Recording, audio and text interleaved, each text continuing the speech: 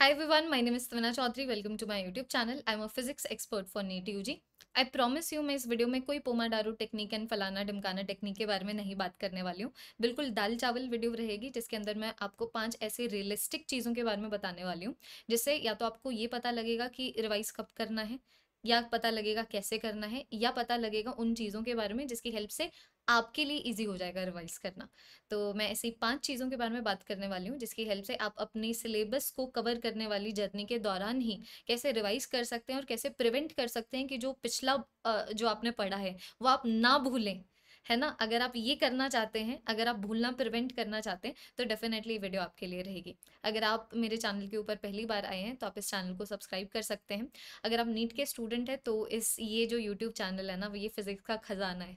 इतना कंटेंट इस YouTube channel के ऊपर मैंने डाला है, चाहे वो रिवीजन लेक्चर्स हो, या फिर वो मैराथन सेशंस हो, या फिर वो डिटेल लेक्चर्स हो, या फिर वो क्रैश कोर्सेज हो, या फिर वो फिजिक्स के टॉप बुक्स में से टॉपिक वाइज क्वेश्चन सीरीज़ हो। सारी चीज़ें बिल्कुल फ्री ऑफ़ कॉस्ट इस यूट्यूब चैनल के ऊपर अवेलेबल है। जैसे ही वीडियो खत्म हो जाता है, आप इस चैनल को चेक कर सकते हैं। अभी के लिए टॉपिक के ऊपर रहते हुए बात करते हैं उन पाँच चीज़ों के बारे में, जिनको आप अपने स्टडी स्केड्यूल के अंदर इंक्लूड कर सकते हैं और डेफिनेटली आपकी, जो आप जो कुछ भी पढ़ रहे हैं, वो ज़्यादा देर देर तक आप रिटेन भी कर पाएँगे और आपको ज़्यादा अच्छे से समझ भी आएगा। जिसमें सबसे पहली चीज़ जो है which I am very sure सौ में से नाइन्टी फाइव स्टूडेंट्स नहीं करते हैं, जो कि है कि आप प्लीज़ जैसे ही एक बार कोई भी क्लास ख़त्म हो जाती है, अपने नोट्स को रिवाइज किया करो।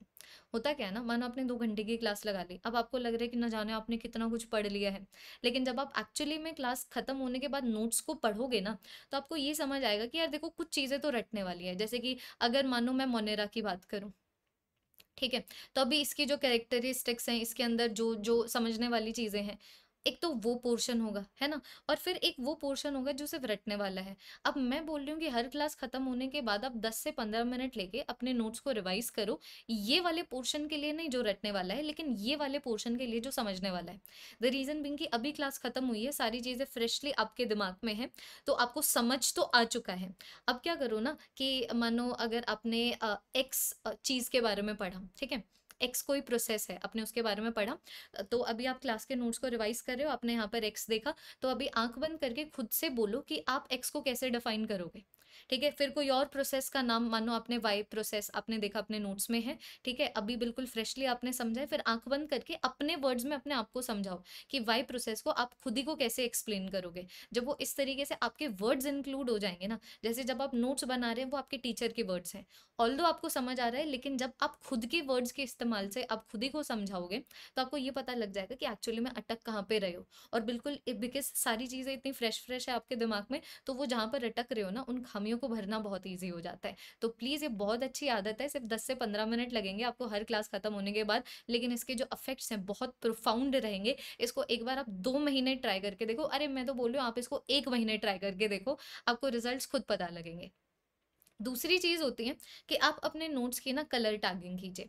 देखो, अब मैं ये नहीं बोल रही हूँ कि अपने नोट्स को बहुत खूबसूरत बनाऊँ, दस तरीके के पेन का इस्तेमाल करो, मैं वो नहीं बोल रही हूँ। बिकॉज़ ऑब्वियसली बात है, ये कोई आर्ट कॉन्टेस्ट नहीं हो रहा है कि जिसके नोट सबसे ज़्यादा आर्टिस्टिक होंगे, उसका नीट क्लियर होगा। नहीं, मैं बस बोल रही हूँ कि कलर कोडिंग की हेल्प से आप अपने नोट्स का नोट्स की हेल्प से जो आप पढ़ते हैं या फिर जब आप नोट्स को रिवाइज करते हैं, उस प्रोसेस को आप बहुत ज़्यादा एफिशिएंट कर सकते हैं।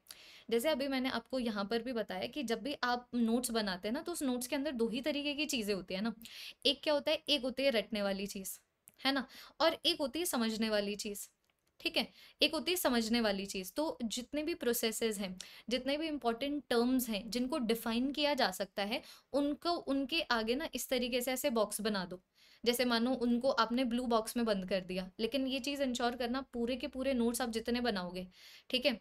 तो उसके अंदर ब्लू कलर का बॉक्स ही उन सारे पोर्शंस के लिए होगा, जिसके अंदर इंपॉर्टेंट प्रोसेसेस हैं, या फिर जिसके अंदर किसी लॉ का स्टेटमेंट दिया हुआ है, या फिर जिसके अंदर एक्सेप्शन वगैरह दिए हुए हैं। तो ब्लू बॉक्स में ये नहीं बोल रही कि मानो ये वो पोर्शन है, जिसको आप ब्लू बॉक्स में बंद करना चाहते हो तो इसको ब्लू बॉक्स में बंद कर दिया, फिर यहाँ से ब्लू से कलरिंग कर दे। नहीं, मैं बस बोल रही हूँ कि इसको अच्छे से डार्क ब्लू कलर के बॉक्स में इस तरीके से बंद कर दो, ताकि कभी भी आप नोट्स को आगे रिवाइज करने लगो। मैं बताऊँगी आगे कैसे कैसे रिवाइज करना है। मैं बस अभी बोल रही हूँ मैं आगे बताऊँगी कब कब रिवाइज करना है, मैं अभी बता रही हूँ कैसे रिवाइज करना है कौन सी चीज़ें करनी है ताकि आपके लिए जो रिवीजन का प्रोसेस है वो ईजी हो जाए। तो बिल्कुल डार्क ब्लू कलर में अगर इस तरीके से बंद कर दोगे ना चीज़ों को तो जब भी आप अपने नोट्स की हेल्प से रिवाइज करना चाहोगे तो आपको ये चीज़ें बिल्कुल डिस्टिंगटिवली दिखेंगे, क्योंकि ये सबसे ज़्यादा इंपॉर्टेंट है। और उसी तरीके से कोई और कलर का इस्तेमाल कर लो, लिखते वक्त ही मे बी आप रेड का इस्तेमाल कर सकते हो या फिर कोई और कलर का इस्तेमाल कर सकते हो, उन चीज़ों को लिखने के लिए जो आपको बेसिकली रटनी है। जैसे कि अभी अगर मैं मोनेरा का ही एग्ज़ाम्पल ले रही थी तो मोनेरा के जो एग्जाम्पल्स हैं, उनको मानो अपने ग्रीन कलर में लिख दिया। But now you need to ensure कि पूरी की पूरी किताब में, पूरी की पूरी बुक में सॉरी, नोटबुक में आपकी नोट जिसमें आप नोट्स बना रहे हैं, ग्रीन कलर का इस्तेमाल होगा हमेशा उन पोर्शन को लिखने के लिए जो रटने वाले हैं। अभी इससे होता भी है ना कि कभी कभी आपका पढ़ने का दिल नहीं करता, है ना? मैं भी तो स्टूडेंट थी, मैं इनफैक्ट अब भी स्टूडेंट हूँ तो मैं भी सेम चीज़ करती हूँ। तो मानो अगर मेरा ऐसे कुछ नई चीज़, ऐसे पढ़ने का दिल नहीं है, ठीक है? बिकॉज़ हो जाता है तो मैं क्या करती हूँ ना, मैं रटने वाली चीज़ें साइड में ले लेती हूँ, ठीक है? और फिर बाद में इस तरीके से स्क्रिबल करके, मुझे और किसी तरीके से याद नहीं होता, मुझे हमेशा स्क्रिबल करके याद होता है। अगर मानो कोई ऑर्डर भी है जैसे कि मानो A B C D E ये ऑर्डर है ये ऑर्डर मुझे बिल्कुल ऑर्डर में याद करना है। तो मैं ऊपर से नीचे तक भी आ, याद करूँगी फिर नीचे से लेके ऊपर तक भी याद करूँगी फिर इस तरीके से ऐसे जंबल वे में भी याद करूँगी। तो इस तो जब भी आपका पढ़ने का दिल ना करे ना आप कभी भी नोट को अगर अपने नोट्स को खोलोगे तो वो ग्रीन कलर के पेन में आपको नज़र आ जाएँगी वो चीज़ें जो रटने वाली हैं। तो आराम से पेपर पेन लो स्क्रिबल करो और फिर बाद में याद करने लग जाओ। है ना? आप कहीं पे ट्रैवल कर रहे हैं ठीक है? तो आपने फ़ोन में वो चार पाँच फ़ोटोज़ ले ली उन सारी चीज़ों की जो रटने वाले हैं, ट्रेन में जा रहे हैं, अब तो आपने वो सारी चीज़ें खोल ली जो रटने वाली हैं, ठीक है? आप आराम से अब मस्त हवा लग रही है मुँह के ऊपर और अभी आप रट रट रहे हैं। तो इस तरीके से अपने नोट्स को ऐसे बनाओ सच दैट उसके अंदर डिस्टिंक्शन हो कि हाँ भाई देखो ये चीज़ें हैं जो समझने वाली हैं और खूब इंपॉर्टेंट है, इनको हम लोगों ने ब्लू बॉक्स में बंद कर दिया है और ये चीज़ें रटने वाली हैं, चाहे वो एग्जाम्पल्स हों, कोई ईयर हो, साइंटिस्ट का नाम हो, रिएजेंट का नाम हो, ठीक ठीक है, या फिर किसी और चीज़ का नाम हो, ठीक है, उनको आपने एक अलग पेन से लिख दिया। तो टू कलर टैगिंग होनी इंपॉर्टेंट है। ये बहुत बहुत एफिशिएंट मेथड है। ट्राइड एंड टेस्टेड मेथड है। मतलब मज़ा आ जाएगा। जब भी तुम नोट्स के, अपने नोट्स को खोलोगे ना इट इज़ लाइक नोट्स ही तुम्हारी हेल्प करें कि हाँ भाई आजा आजा रिवाइज कर। सो इट रियली हेल्प्स तीसरी चीज़ आ जाती है कि अपने डीपीपी के ऊपर, जब भी आप अपने डीपीपी को सॉल्व करते हो ना तो अपने डीपीपी के ऊपर ना स्टार्स बनाया करो। जस्ट वन सेकेंड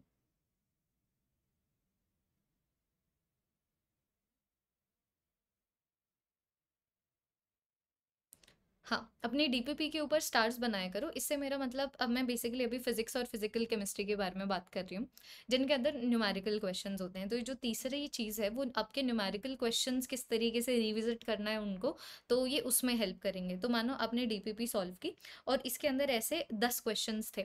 अब कुछ ऐसे क्वेश्चन होंगे जो बिल्कुल आपको पढ़ते आ गए मैं बता रही हूँ, बस उन क्वेश्चन को अभी आगे से कभी नहीं देखना है।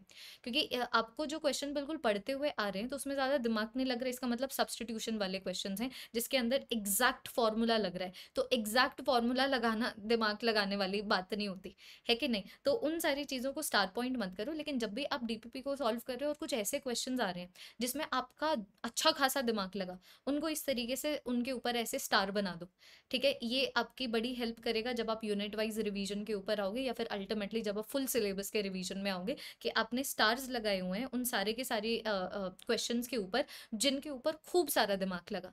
आप ऐसे भी कर सकते हैं सिंगल स्टार और डबल स्टार वाले मेथड से भी चल, सकते हैं कि मानो अगर आपको कोई चीज़ बिल्कुल आपका दिमाग फट गया उसको सॉल्व करते करते उसके ऊपर दो स्टार लगा दो और आप अगर आपको लगा कि वाह यार इंप्रेसिव नाइस क्वेश्चन तो उसको आप वन स्टार भी दे सकते हो है ना? मतलब ऐसी चीज़ें करो जिसकी हेल्प से आपके दिमाग के अंदर कंपार्टमेंटलाइजेशन की प्रोसेस थोड़ी सी ईजी हो जाए कि हाँ भाई ये क्वेश्चन क्या महत्व रखता है मेरे लिए ठीक है? तो ऐसे जुगाड़ करो। चौथी चीज़ फिर आ जाती है संडे को रिव्यू किया करो। जैसे कि मानो मंडे टू सैटरडे आपने क्लासेस लगा ली या फिर मंडे टू फ्राइडे भी मैं बोल सकती हूँ। तो आपने एक दिन पूरे के पूरे हफ़्ते में दे दिया, जहाँ पर आप कोई चीज़ नई नहीं पढ़ रहे हैं। आप सिर्फ़ उस दिन बैठ रहे हैं सारी चीज़ों को रिव्यू करने के लिए, जो आपने पूरे हफ़्ते पढ़ी है। उसके अंदर आपके नोट्स का रिव्यू भी आ जाता है, और उसके अंदर आपके, आपने जो डीपीपी के क्वेश्चन सॉल्व किए थे है ना? और उसके अंदर जो सिंगल स्टार और डबल स्टार क्वेश्चन थे, उनको भी एक बार दोबारा से सॉल्व करने की कोशिश करो। तो इतना ही कर सकते हो। इससे ज़्यादा पॉसिबल ही नहीं है यार बिकॉज़ आप सिलेबस कवर कर रहे हो तो सिलेबस को कवर करने में बहुत ज़्यादा टाइम लगता है बिकॉज़ आपको लेक्चर्स भी अटेंड करने हैं, ठीक है? आपको सेल्फ स्टडी भी करना है डीपीपीज वगैरह भी सॉल्व करनी है तो I will not suggest you anything which is unrealistic because I already am aware कि आपके पास टाइम कम है। तो इस चीज़ को नज़र में रखते हुए मैं ये वीडियो बना रही हूँ। तो मैं बता रही हूँ कि अगर मानो आप मंडे टू फ्राइडे भी पढ़ रहे हैं ना तो आप ये चीज़ सैटरडे को करके संडे को भी ऑफ़ ले सकते हैं, ठीक है? एक दिन अगर आप ऑफ़ लेना चाहें। तो इसके अंदर आप मंडे टू फ्राइडे अब जितने भी आपने नोट्स बनाए हैं, वो सारे नोट्स रिव्यू होंगे, ठीक है? जो जितने भी रटने वाली चीज़ें हैं तो उनको आप अपने कन्वीनियंस के बेसिस के ऊपर रट सकते हैं, आगे के लिए छोड़ सकते हैं, आपकी मर्ज़ी है। तीसरी चीज़ जितने भी आपने डे पे पी सॉल्व किए हैं सैटरडे से लेके सॉरी मंडे से लेके फ्राइडे तक, जितने भी सिंगल स्टार और डबल स्टार वाले क्वेश्चन हैं, उनको आप एक और बार सॉल्व कर सकते हैं। और जो पांचवा टिप मैं आपको देना चाहूँगी, वो है किसी अच्छी टेस्ट सीरीज़ में एनरोल करो। देखो, होता क्या है ना, अगर आप किसी भी टेस्ट सीरीज़ में एनरोल करोगे तो टेस्ट सीरीज़ का सिलेबस ही मतलब I can say year long syllabus ही इस तरीके से होता है, जहाँ पर सिलेबस सबसे पहले डिस्ट्रीब्यूटेड है चैप्टर वाइज है ना? चाहे वो एक चैप्टर हो या फिर accumulation of three four chapter तो डज नॉट मैटर मतलब पहले चैप्टर वाइज होता है, फिर यूनिट वाइज होता है, फिर अल्टीमेटली क्लास इलेवंथ आती है फिर क्लास ट्वेल्थ आती है और फिर फुल मॉक टेस्ट आते हैं। तो अगर आप किसी भी टेस्ट सीरीज़ में एनरोल करोगे ना तो वो टेस्ट सीरीज़ का जो स्केड्यूल है, वो भी आपको एक आइडिया दे देगा कि हाँ भाई, अभी हमारा ये टेस्ट आने वाला है, इसके अंदर ये चैप्टर्स हैं तो हमें इन चैप्टर्स को रिवाइज करना है। तो रिवाइज करते हुए क्या करोगे? अगर मानो आपको आपको कोई चैप्टर बहुत अच्छे से आता है तो फिर बाद में नोट्स को जल्दी जल्दी से रिवाइज कर लो और फिर बाद में उसके क्वेश्चंस को देख लो, जो आपके सिंग डबल स्टार क्वेश्चंस थे, जो मतलब बहुत ही खतरनाक क्वेश्चन थे, उन क्वेश्चंस को देख लो। और अगर आपको लगता है कि आपको एक चैप्टर्स एवं एवं ही आता है, ठीक है तो नोट्स को बिल्कुल थरली देखो सिंगल स्टार और डबल स्टार वाले क्वेश्चंस को भी देखो और अगर आपके पास टाइम हो तो दस बीस क्वेश्चन और लेके बैठो और उस पर्टिकुलर चैप्टर के ऊपर सॉल्व कर दो।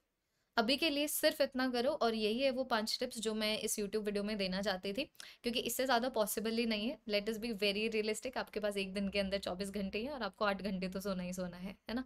तो इस तरीके से अपना सिलेबस कंप्लीट कीजिए, अपने नोट्स खुद से बनाइए ट्राई कीजिए कि आपका जो सिलेबस है एग्ज़ाम से एटलीस्ट चार महीने पहले कंप्लीट हो रहा है, ताकि डिटेल रिविजन का टाइम मिले। डिटेल रिविजन कैसे करना है? वील टॉक अबाउट इट एक बार जब टाइम आ जाता है। तो अभी के लिए आप इस चैनल को सब्सक्राइब कीजिए and if you are ready to crack NEET let me see hash tag no matter what in the comment section जो नए बच्चे हैं, मैं बता दूँ कि hash tag no matter what एक फीलिंग है, एक इमोशन है कि जो करना है, वो करना है। Hashtag no matter what. If NEET is important to you, let me see one hashtag no matter what in the comment section and promise yourself कि आप इन पाँचों चीज़ों में से बिल्कुल सारी की सारी पाँच चीज़ों को इंक्लूड करेंगे। ये नहीं कि पाँच टिप में से तीन टिप ले ली, दो टिप को टाटा बाय बाय कर दिया। नहीं, पाँच की पाँचों चीज़ों को अप्लाई करो बिकॉज़ बहुत ही जेनविन चीज़ें मैंने तुम्हें बताई हैं। इतना अगर तुम इंक्लूड कर दोगे तो फिर तुम ये चीज़ बोल सकते हो कि भाई तुम जो पढ़ाई कर रहे हो ना, वो स्मार्ट स्टडी है। That is all for this video every thank you so much like the video अगर आपको ये पसंद आई है और अपने और दोस्तों में जो नीट के लिए प्रिपेयर करें, आप उनमें शेयर भी कर सकते हैं। बाय